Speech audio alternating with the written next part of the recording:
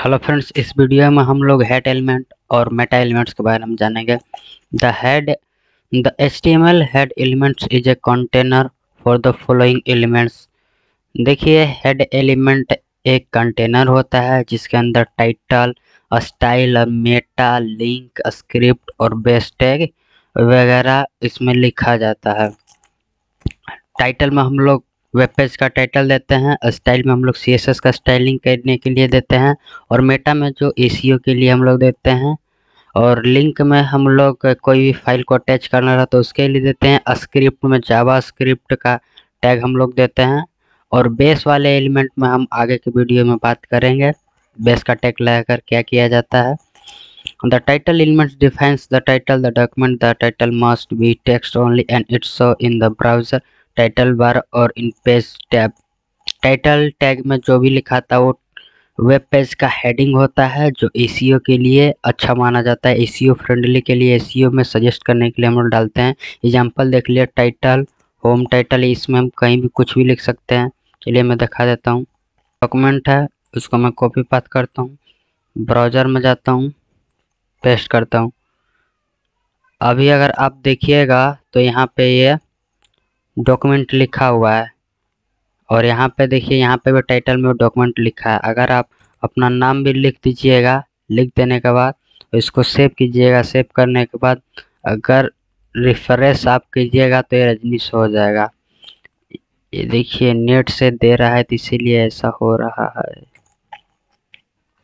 ठीक है, इसको मैं सेव कर लेता हूँ और मैं रिफ्रेश कर लेता हूँ। ये देखिए, रजनीश दिख रहा है। यहाँ पर कुछ भी आप लिखिएगा टाइटल में, जो भी आपका जिस चीज़ से रिलेटेड आपका वेबसाइट होगा, उसको यहाँ पे लिखना है और ये आपको हेडिंग में शो होगा। देखिए meta element the meta element is typically use to specify the character set page description keyword author for the document and viewport meta elements का उपयोग हम लोग कैरेक्टर सेट बताने के लिए करते हैं कि किस कैरेक्टर सेट में लिख रहे हैं। हम लोग अधिकतर हम लोग जो भी प्रोग्रामिंग करते हैं वेब डेवलपमेंट में U T F eight character set कैसे ही करते हैं? पेज डिस्क्रिप्शन पेज का डिस्क्रिप्शन देने के लिए कीबोर्ड ऑथर का नाम देने के लिए ऑथर डॉक्यूमेंट जो है डॉक्यूमेंट का ऑथर कौन है? व्यू पोर्ट का setting the meta data will not be display on the page but are use by browser how to display context content और reload page by search engine keywords and other web service देखिए meta data का उपयोग हम लोग करते हैं। ये Meta data आपको दिखाई नहीं देता है यूज़र को, पर सर्च इंजन के ऑप्टिमाइजेशन और वेब ब्राउज़र को बताने के लिए प्रयोग करते हैं। Defining the character set use हम लोग करेक्टर सेट यूज़ करने के लिए कौन सा करेक्टर सेट यूज़ करते हैं? तो लिखेंगे मेटा करेक्टर सेट और बड़ा में यू और एट लिखेंगे। इसी करेक्टर सेट में हम लोग प्रोग्रामिंग करते हैं वेब डेवलपमेंट में, ठीक है? Define keyword for search engine. उसके लिए यहाँ पे मेटा लिखेंगे, नेम में कीवर्ड्स लिखेंगे। कीवर्ड्स आपको कौन सा कीवर्ड्स अगर गूगल में सर्च किया जाए या किसी ब्राउज़र में तो आपको सजेस्ट करे। देखिए H T M C S JavaScript यहाँ पे लिखा है। अगर आपका शॉपिंग का वेबसाइट है तो आप यहाँ पे क्या लिखिएगा? मोबाइल लिख दीजिएगा। आपके आपके वेबसाइट में मोबाइल बिकता होगा, कंप्यूटर बिकता होगा, क्लॉथ बिकता होगा तो यहाँ पे लिखेंगे। जैसे ही कुछ सर्च करेगा तो उससे सजेशन में आ सके। Define a description of your web page यहाँ पर डिस्क्रिप्शन यहाँ पे लिखा हुआ है और यहाँ पे लिखेंगे किस लिए। यहाँ पे ये H T M L C से जावा स्क्रिप्ट का वेबसाइट है तो फ्री वेब ट्यूटोरियल्स के लिए यहाँ पे लिखा है।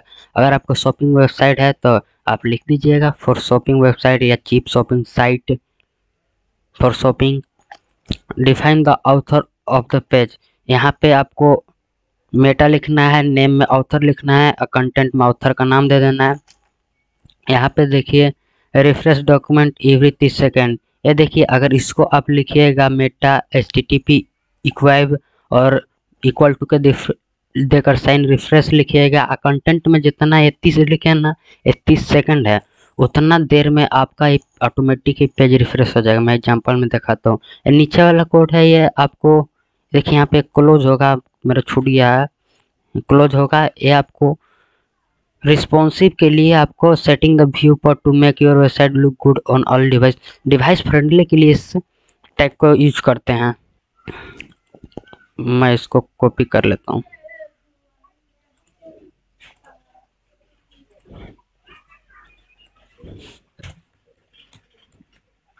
अब देखिए, इसको चिपकाना का देखिए automatic meta charset T F eight यहाँ पे दिया हुआ है और ए जो रिस्पॉन्सिव के लिए यहाँ पे दिया हुआ है। आप इसी के नीचे चिपका दीजिए इसको।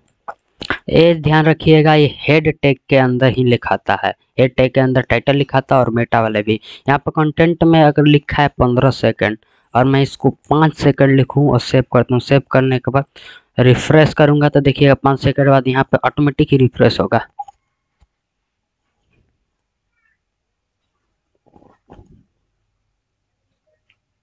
ये देखिए, यहाँ पे रिफ्रेश हुआ। अभी नहीं पता चल रहा है आप लोग को कितना वेट किया जाएगा। यहाँ पे हम दो लिख देता हूँ, दो सेव करता हूँ। सेव करने के बाद देखिए ऑटोमेटिक ये रिफ्रेश होगा। देखिएगा आराम से गौर से। ये हो रहा है, यहाँ पे देखिए। देखिए, हुआ। ये देखिए एग्ज़ाम्पल है, पूरा उसका कोड है, ऐसे आप दे दीजिएगा। ही आपका कोडिंग किया जाता है। आप हेड के नीचे मेटा टैग चिपका सकते हैं, ये ठीक है। हेड के वाले टैग के अंदर ही इसको चिपकाया जाता है। हेड यहाँ पे लिखा है। या ये टाइटल जो है ना, आप ऊपर भी ये इसको जो कट कर दीजिएगा, यहाँ पर भी लिख दीजिएगा तो कोई दिक्कत नहीं टाइटल और मेटा टैग हेड टैग के अंदर ही रहता है। ये अपना ध्यान रखिएगा। रिफ्रेश कर देता हूँ, कोई दिक्कत नहीं।